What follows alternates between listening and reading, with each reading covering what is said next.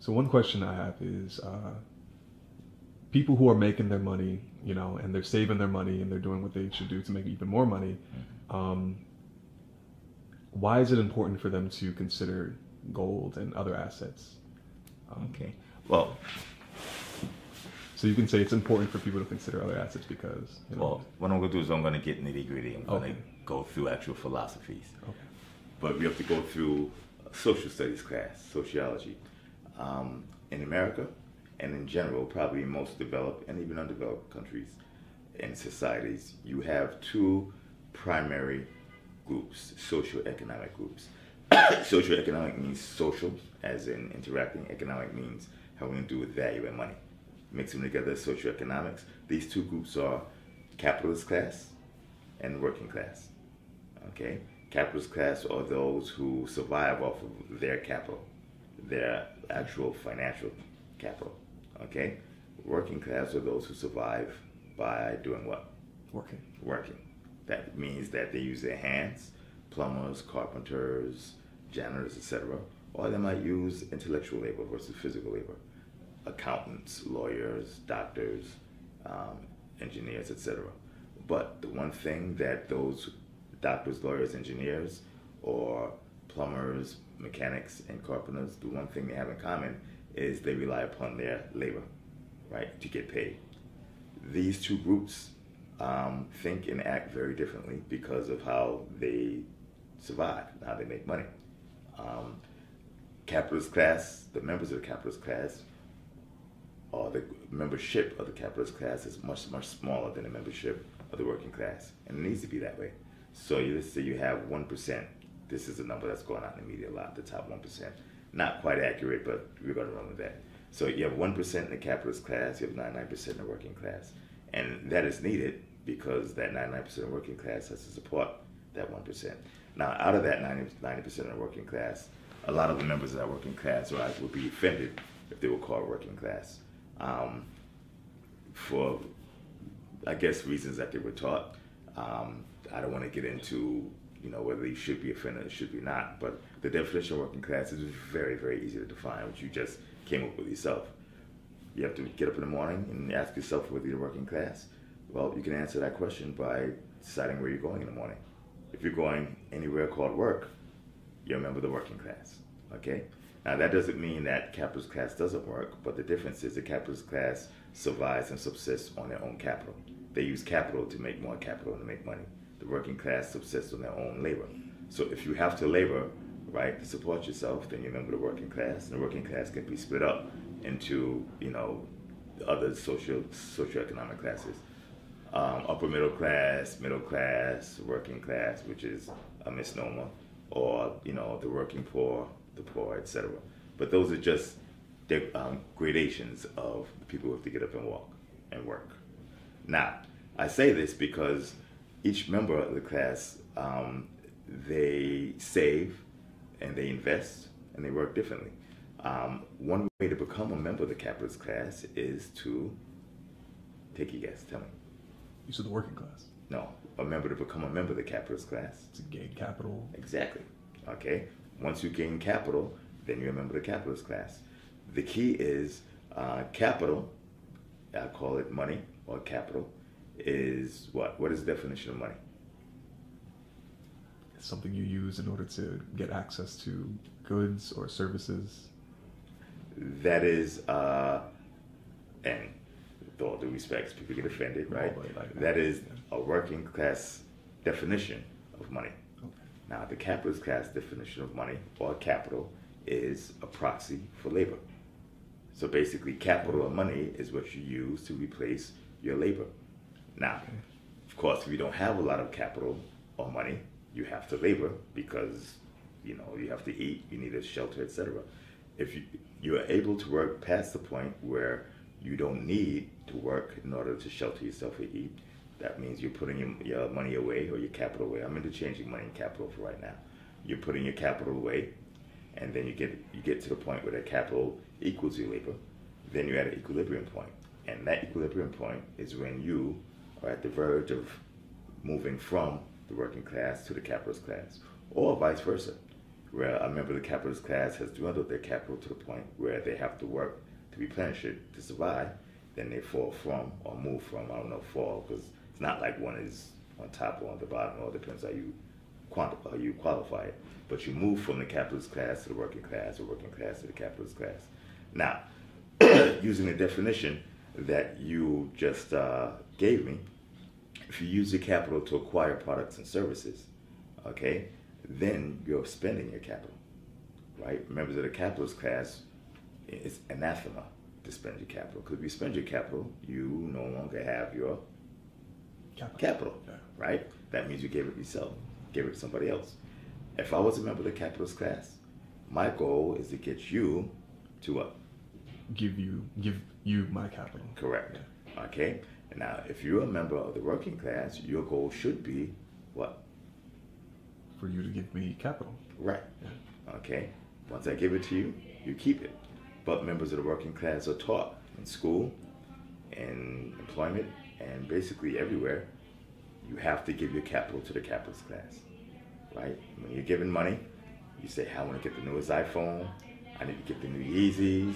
I have to get this Benz. I want to get this place to stay, which is way above utility, which you don't really need.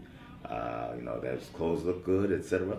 Every time you make that purchase, you enrich your capitalist class, the owners of the machine and the plant and the businesses, right, that peddle these things, and you get something in return, satisfaction, happiness, whatever you may get. So you see the switch. Capital goes one way, labor goes the other way. If you have to work and labor to do these things, then you know you are dwindling your capital and using labor to attempt to replace it. Now, if you purchase these objects by giving your capital away, but you level that purchase by borrowing money, credit cards, student loans, automobile loans, etc. Now you're giving your capital away at an accelerated pace, right, for products and services. That accelerated pace of capital um, dissipation benefits who? The capitalist. Right. And it works to the detriment of? The working class. Exactly. The rich get richer, the poor get poorer. Okay? Only by mindset. The major difference between capitalist class and working class, almost the, only difference is mindset. But that's not what everybody's taught. They taught it it's money, it's you know schooling, etc., etc. Um, a lot of members of the academic community will have a fit um, if they knew how I thought, but uh, most academic schooling does not teach you how to become a capitalist. It is designed by, you know, definition and by historic performance to teach you how to Become a worker. exactly, and that's most likely because the schooling system was designed by The capitalists. for The capitalists. right to benefit. The capitalists. right. See, that's Yeah. Or the capitalist system. Yeah. Right. So you you have it down. So a lot of people say, well, but I have a um, a law degree, I have a master's degree, and I have a PhD. Yes, you do. So now you're a higher level worker. The benefit, The capitalist. exactly. Okay, you look at the top capitalists in the world, the top. Go to the Forbes 400 list. Look at the top five there. 80% of them dropped out of school. Okay, so all the uh, academic guys, come and get me. Let's dance. Let's dance. You know where he is. Okay, you know where I am. Um, so my follow-up question to that is, because that was very educational. You know, um, and I never did answer your question, did I? You, go- you, you were give a follow up question. You let me get away with not answering the first question. Because I'm, I'm, I was very uh, intrigued by what you were just saying. Okay. But go ahead. So the first question is, um, how can somebody, why should somebody bother buying gold or silver, etc.? Well, it helps you become a member of the capitalist class. The members of the capitalist class, they invest heavily. Um, they don't save that much. The reason is because you can go broke saving, but that's not what's taught to The working class. Right. So the working class is taught to save. Best case scenario, saving puts a lot of capital in banks at a very, very low rate of return. Who owns banks? The capitalists. And so when you put a lot of money in your banks and the banks have to pay you a small amount, what can they now do? Gain more capital. To do? It's getting harder now. Yeah, a little bit, a little bit. Then think it through. I'm just I want you to think it To through. offer more loans and Right. to, to more people. and- Right. Yeah. And when they offer loans, what rates do they offer the loans at? At a low rate. No, they offer loans at a. A higher If you owned a, if you owned a bank, and I was giving you this gold, I said you can have this gold for one percent per year, and I gave you a hundred thousand other pieces of gold at one percent per year. What would you do with that gold? Knowing that you had to pay one percent per year on it, what would you do? I guess I would spend it. You'd spend it as a member of the working class, okay? Yeah. Now, as a capital Because I'm taking the loan, you know. right? As a capitalist class, look around, look across the street. You see that scaffolding? Yeah. We're in New York.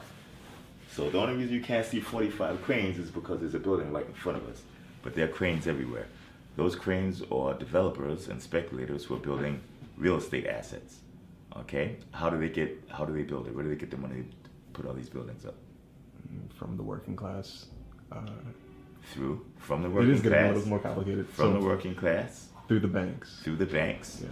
from loans that those banks got from savings and checkings that they pay less than 1% for right now. Mm-hmm. So I get a 70 basis point at 1% money, which is close to free. I now loan it out to these developers, to people buying cars and school loans at 5, 6, 7, 8%. Now I get a spread of 6, 7% on all this money that I didn't even work for. So that's almost free money. So when you get 1% gold, you don't spend it, you turn around and you loan out somebody for 7%. And you catch that 6% spread. You do that all day, every day. All day, every day. That's why banks are some of the most powerful industries in developed nations. So they're doing this, at- this. They're doing this at scale, basically, and Right. the amount of people that they're gaining interest from Right. allows them to build capital. Even if you didn't do that at scale, suppose you just did it once off, okay? Versus spending the money. You would spend the gold, somebody else would just loan it at 6%. This time next year, who's wealthier? They're, they'd be wealthy. As a matter of fact, this time tomorrow afternoon, who's wealthier? They'd be wealthy. As a matter of fact, immediately, who's wealthier? I guess they are. Yeah. Right away, because just the nature of the transaction. Right. One is giving out money, one is taking in. Now, Veritaseum allows everybody to become their sovereign self. Sovereign money, sovereign capital, a sovereign self. You could become your own banker, your own exchange, your own investment fund. You have control over all your capital. So, as a member, a millennial, which I'm assuming you are, right? Yeah. You can now take a lot of this investment um, effort upon yourself. You take education, such as the research available from the app, with the ability to buy things, which is available through the app, and you could buy things that don't decrease in value but increase in value. Gold, as Ab- Abby Episode was saying, um, if you go back 100 years, one gram of gold, which you could also buy from the app, it's a little chunk about one half inch by one half inch. One gram of gold would buy you five loaves of bread. Okay? At the same time, a dollar would probably buy you about five loaves of bread. Okay? Fast forward 100 years in the future, one gram of gold is about $48 or so. Still buys you five loaves of bread plus. You could go to an expensive place like Whole Paycheck, I mean, not Whole Paycheck, sorry, Whole Foods. That was good. I'm sorry, I'm just making these all over the place. This is, this I'm joking there, new- no, Mr. Bezos. It's Okay. business venture right there. So um, you go to Whole Foods. By the way, I think he's been dropping prices. That was a joke. Okay.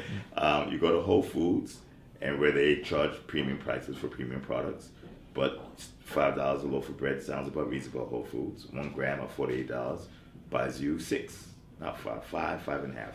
Okay. One dollar buys you how many loaves of bread at Whole Foods? Hopefully one, but that's if you have No, you're not. There's Yeah. nothing in Whole Foods that costs a dollar. I can tell you that now. Um, one dollar would get you. Well, if you use sesame seed loaves, it'll get you like six of the sesame seeds on the top of one of those loaves. Wow. Okay. Wow. Maybe more than six, but you, you, you get my point. I hear the you. reason is because, right, gold seems like it's went up in price relative to the dollar over 100 years. But that's not what happened. What actually happened was the dollar dropped. It dropped significantly. Um, let's go through how that works. Okay? There's a couple of obvious reasons. Gold, dollar. Okay? Which one seems like it's more valuable just from its makeup? If I were to just glance at it, I would say the dollar Why? because I'm used to what money looks like. That's what money looks like to me. What value looks like. Take take the dollar. That's what money and value looks like to you. Yeah. Okay? So, what is money again? Money is uh, Capital. capital. Capital. Capital money. What is it? The, the definition I gave you. Do you remember? No, I don't. It's a proxy for labor. Gotcha. A replacement.